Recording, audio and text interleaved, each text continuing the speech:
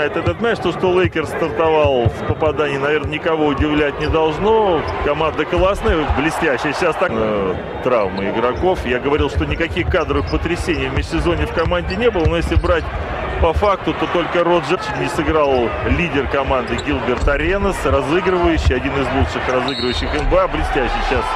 Байнум поработал на подбор. 18-9. И вновь Байну вот там в трапеции трудится. Вот это было комфортно для него в данной ситуации. Ну, так или иначе, своего он добился. Будет сейчас выполнять штрафные. В росте сейчас и за гостями, по крайней мере, в мастерстве. Помню, помню. Вот уже 10 очков в первой четверти может набрать Байнум. Если сейчас попадет, да, мяч Почить забирается. Разрыв у нас во второй четверти. Ждем появления основных игроков.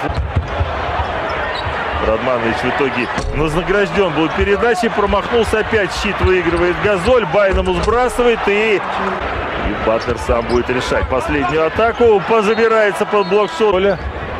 Фишер, Байнум, будет он маги продавливать, видели мы это и в первой четверти.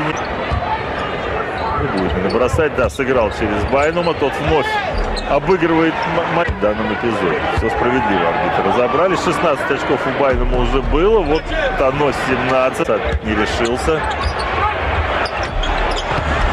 И вновь Байнум выигрывает щит, забивает два. Бросит на центрового. И тот снова будет решать эту ситуацию. Хорошо оставил этот мяч. Арезит. Точнее, 9, 9 оставшихся минут этой четверти, естественно, после тайм-аута. Опять много суеты под кольцом. Вновь не везет хозяевам, но он и с мячом. Он же будет атаковать трехочковый бросок. Нет, не по